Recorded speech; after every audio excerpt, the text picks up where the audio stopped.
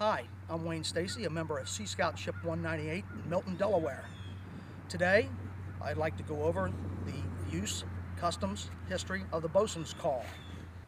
First of all, the history of the bosun call goes back in the early 1600s when the British Royal Admirals used them as a sign of authority and it was considered a high honor. They called theirs the Golden Whistle, which was the highest honor in which could be bestowed on a particular Navy admiral at the day. If you can imagine on sailing ships in howling gale winds and rough sea conditions, the bosun who would give orders throughout the ship, when men were working aloft and gale winds were unable to hear or make sense of any commands that were given from the deck. However, with a loud, shrill pitch voice or pitch sounds of the bosun call, it could be heard throughout the ship, both down below and aloft, to describe the nomenclature of the bosun call. You have the gun or shaft, the mouth, the bowl or buoy, you have the hole, and along both edges you have what's called the P. Along the bottom is sometimes called as the keel. In different countries, you'll hear the nomenclature described different ways.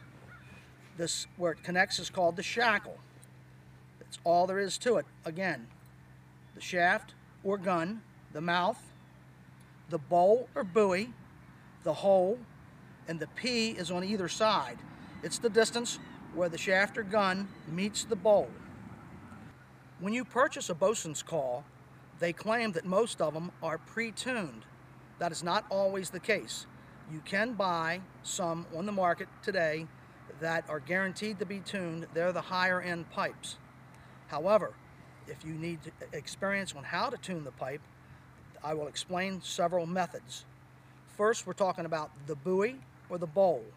The bowl carries a lot of air. If you notice, I've put indentations and dents on either side of my call. It's just personal preference. I did that by using the back of a spoon, tapping it gently, not to make the indents too much. Now, I have to decrease the volume in the buoy or the bowl so that I can hold my pitch. What you will do is take beeswax. Take small portions of beeswax, drop into the hole, take a match or a lighter, gently heat the bowl to liquefy the beeswax, holding the pipe at a 45 degree angle. After the wax has liquefied in the forward part of the bowl, take the flame away, let it cool, holding the pipe at a 45 degree angle. Once the wax has set, you can go ahead, turn it forward, and check the proper alignment with the gun versus the leading edge of the buoy or bowl. You take a straw from a broom, slide it in the mouth through the gun. As it comes through, it should bisect the leading edge of the bowl or buoy. It should split right in the middle. If you can see, this is doing it extremely well. It's literally literally splitting it right in the center. So now I know I have proper alignment. So when I blow the wind through, it's going to sound properly. Sometimes you have to file the leading edge of the bowl at the hole to allow the wind to come across.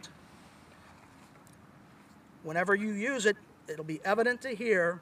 If you have a strong hissing sound, you know you're escaping air from the P on either side or you don't have proper wind alignment at the leading edge of the hole of the bowl or buoy. From there, you check the clearance from where I spoke of the with a gun, which is either side, which is called the P. It's the distance between the gun and the bowl to make sure that there's not much clearance. If there is a large amount of clearance, you need to seal that either either using beeswax and or silver solder. I'd recommend beeswax. It's a little safer.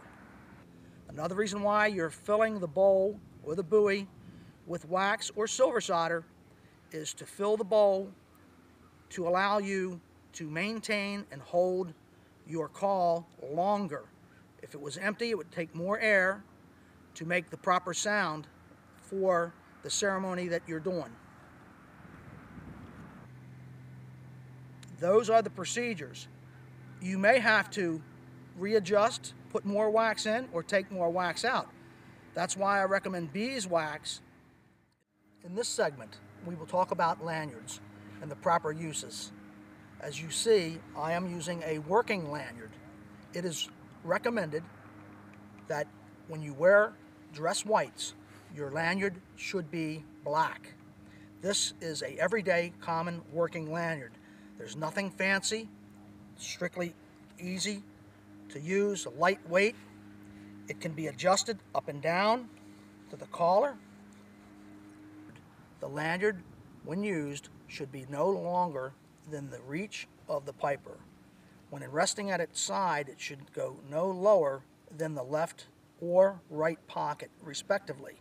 Sea Scout jumper tops, dress whites, only have a left-handed pocket. Therefore, the call would be stuck 45 degree angle so that the mouth is showing. The loop shall fall naturally down, not encumbered or bundled up, and it looks very natural for the wearer. The white lanyard in front of me is a very ornate lanyard used for special occasions for visiting VIPs and senior ranking Sea Scout officials. White lanyards are to be worn on dress blues. Again, black would be worn on dress whites.